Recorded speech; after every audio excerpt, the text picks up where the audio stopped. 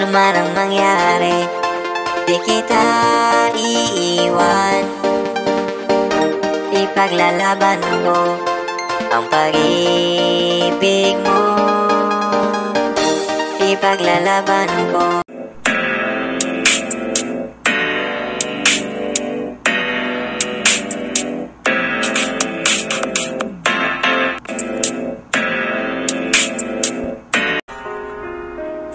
mahal, pero hindi mahal na mahal. Mahal, pero kailanman hindi ka naging priority. Mahal, pero hanggang tawagan lang. Your question. What is your best asset? Ha? What is your best asset? Asset, di ako naging asset ha. Tsaka delikado yan. Three, two, one. Mm, la, ala, mm, ata, mm, aha, watashi o, mm. Tsaka yan mabango, naliligo! Oy, naliligo din ako. Ang sabon. Ligo lang ang usapan. Pagligo, ligo lang. Ligo now, sabon later. Alam mo ba yung gulay? Magbigay ka ng sample ng gulay. Magic sarap. Tumingin ka sa akin. Tumingin ka sa akin. Titig pa. Titig pa. Oh. Sa akin ka lang. Huwag kang titingin sa iba. Ano sa Tagalog ang wife? Bungangera. Ano sa Tagalog ang neighbor? Chismosa. Ano sa Tagalog ang girlfriend-boyfriend? Manloloko. Ano sa Tagalog ang forever? Wala.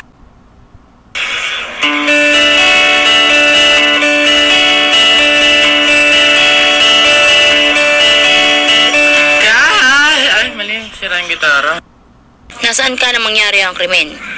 Nasa maisan ho. Anong ginagawa mo doon? Tumatay ho, atorne. Ilang hakbang ka mula sa krimen. Abay malay ko ho, may tumatay bagang pakbang-hakbang. Ewan ko sa inyo. Para kang cactus. Kasi handa akong masaktan. Mayakap ka lang. Tayo tanga, doon tayo masaya. Sinasaktan ka na nga, tinitiis mo pa. Binabaliwala ka na nga, nag stay ka pa. Niloloko ka na nga, minamahal mo pa. Hindi naman maling magmahal ng sobra. Ang mali ay yung tipong pinipilit mong lumaban kahit alam mong sa huli ay talo ka. Huwag mong hayaan na bulagin ka ng pagmamahal mo. Huwag mong hayaan na umabot sa punto na dahil sobrang mahal mo siya, hindi mo na napapansin yung mga maling nangyayari sa relasyon nyo. Hinahayaan mo na lang na paulit-ulit kang durugin ng taong tinuturing mong lakas mo. Hinahayaan mo na lang na masira ka ng taong tinuturing mong mundo. Hinahayaan mo na lang na paiyakin ka ng taong dati nagiging dahilan ng mga ngiti mo. Gusto ko lang sabihin na hindi mo kailangan ipaglaban yung taong hindi ka naman pinapangarap hanggang dulo. Kung lalaban ka, dun ka sumugal sa taong gusto ka ding ipanalo. Live my life without you near me. The days will be empty. The night seems so long. If you are here forever, oh so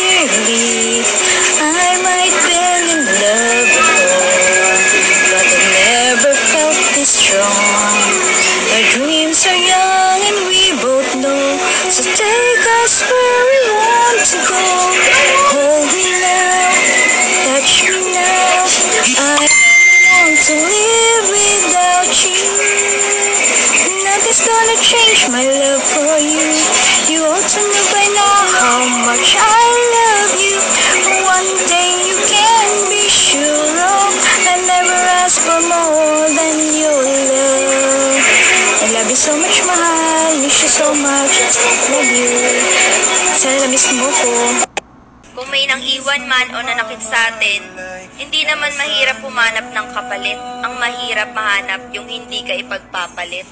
Kahit gaano ka pa kaganda, ka-sexy, katalino, o kabait, you will never be enough sa isang taong hindi marunong makontento.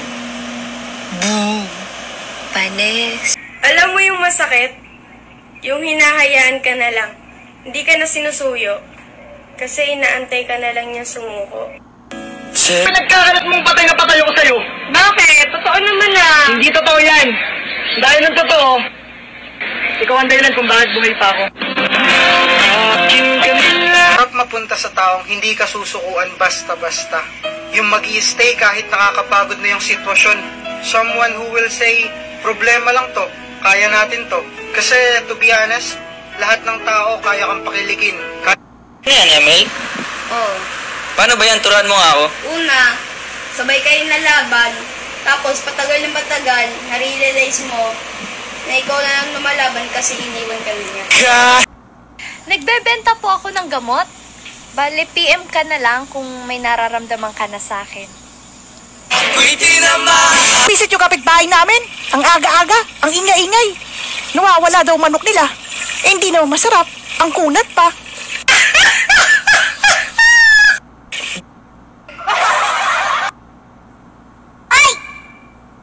Ingat sa pagpapalipad ng saranggola, ha? Baka ikaw yung lumipad. Plastic ka pa naman! Tama ba yung ginawa ng kapitbahay namin sa mister niya? Pinakremate agad? Nilalagnat pala? Hala, tama ba yun? Siya pala yung bago mo. Bakit ganon? Mukhang luma.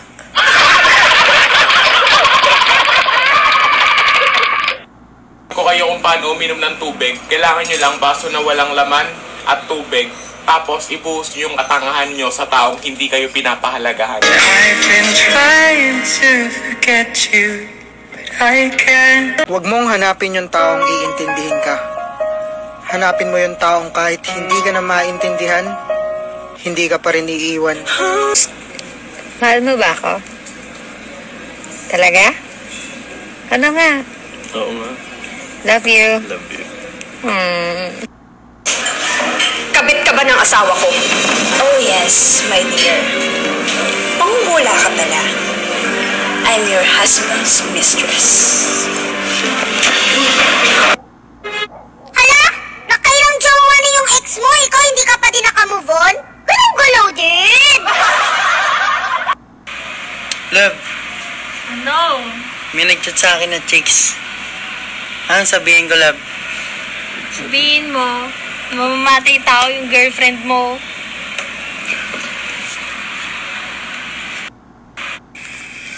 Pumunta ako ng Manila. Tapos sabi nila, Ilonggo daw ako. Paano kaya nila nalaman na Ilonggo ako sa pananamit ko? Hoy, ex, kamusta? Ito okay lang. Ikaw? Uy, naalala mo ba yung mga panahong mahal na mahal kita? Kadiri! Ano man ang mangyari Di kita iiwan Ipaglalaban ko Ang pag-ibig mo Ipaglalaban ko Hanggang sa dulo ng mundo lagi be Giliw ko